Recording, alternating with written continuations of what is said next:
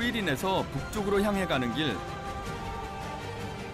대륙의 기상과 기백이 넘치는 산봉우리들을 넘어 여러 소수민족들이 모여 사는 롱성 각족 자치현으로 갑니다.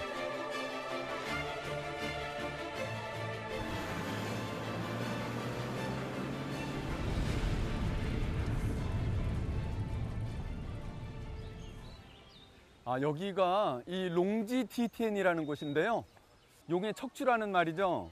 평안, 장족, 제전 뭐 이렇게 써 있는 거 보니까 여기 장족들이 많이 사나 봅니다. 여기 재밌을 것 같아요.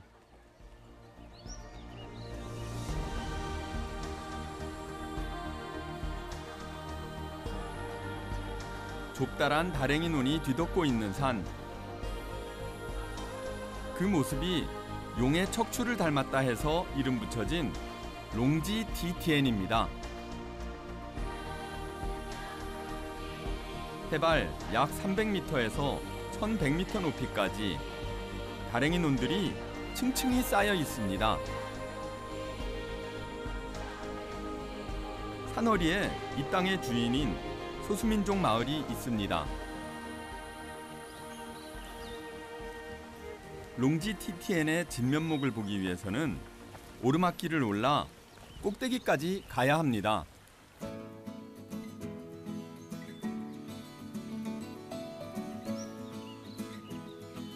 아직은 고개를 숙이지 않은 푸른 벼들이 온 산을 뒤엎었습니다.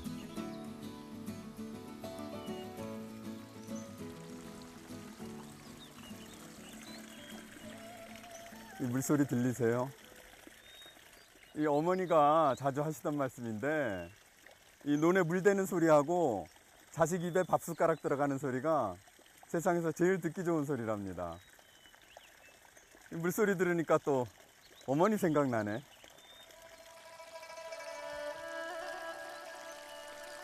아래로 아래로 층층이 떨어지는 물길을 따라 벼들도 곧 누렇게 익어가겠죠.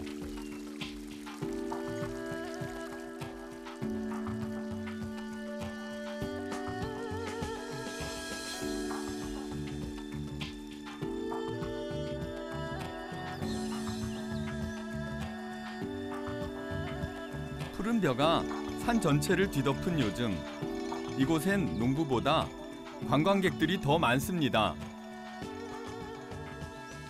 에이, 你好,你好.嗯,这个地方怎么样?啊很漂亮啊很壮观，这个地方在中国有名吗?非常有名。啊,是中吗?国最出名的那个梯田，啊,是哎吗?最出名的。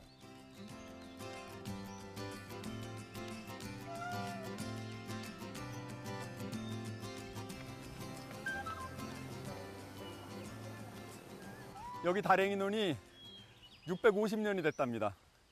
저 산 밑에서부터 한 칸 한 칸 만들어 오면서 얼마나 힘들었겠어요.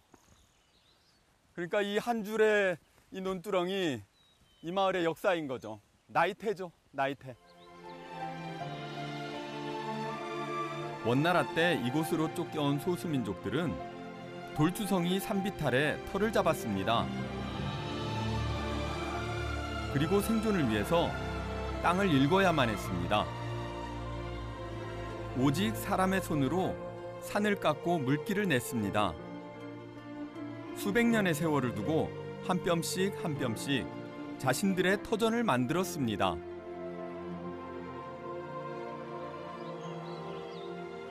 드디어 정상에 도착했습니다. 이 중국 사람들은 여기를 롱지 DTN이라고 부릅니다. 이 용의 척추 같은 다랭이 논이라는 말인 거죠.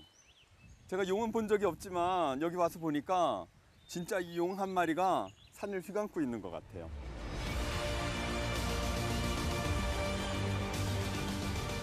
용의 척추처럼 꿈틀대며 산을 휘감고 있는 다랭이 논. 거대한 자연 앞에서 한없이 작아지는 게 사람이지만 이곳에 오니 사람의 노력과 의지가 얼마나 대단한 것인지 느낄 수 있었습니다.